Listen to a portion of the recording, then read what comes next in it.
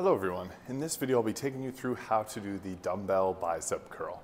So in this two minute tutorial, I'm gonna take you through this exercise. It's a relatively quick and easy one. We're gonna stand around shoulder width apart, keeping our knees nice and not locked out, but slightly bent, glutes engaged, core flexed. You wanna have your abs engaged. You're gonna take a nice deep breath in, and then we're bending through just the elbow. Bring it up all the way, a little squeeze at the top, then we're gonna go down one, two, three, four. Nice negative here ensures that we're getting the most out of each rep. So up, then down, one, two, three, four. From the side, it's gonna look like this. Up, squeeze, one, two, three, four. It's really that simple.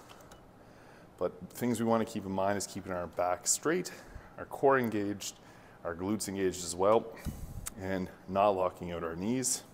This ensures that we're able to stay in the proper position and do the reps safely. This nice slow negative is exactly what you want to do. You can also take this one step further after you've done your bicep curls with the palm facing forward. Switch to have your thumb face forward, and that's called a hammer curl. So it's going to work the forearms and brachialis a little bit more. Great variation of just the regular bicep curl.